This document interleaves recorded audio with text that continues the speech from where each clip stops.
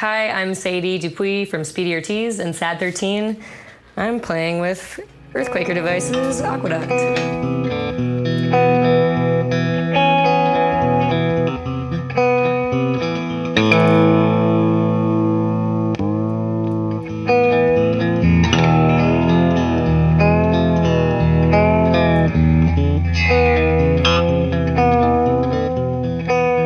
I kind of started with just the most extreme settings, rate and depth turned all the way up, which um, I kind of mostly gravitated towards as I was playing with it, which is rare for me. I think with a lot of the Earthquaker pedals that I use, like when I'm recording, maybe I'll turn them up to their most extremes, but when I'm using them live, I'll use them for more subtle effects.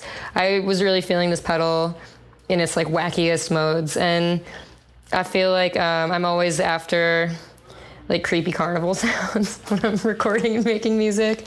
Um, and I was able to get that on a bunch of these modes. I really liked the triangle, I liked the ramp, and I liked the square. So I was um, really digging those.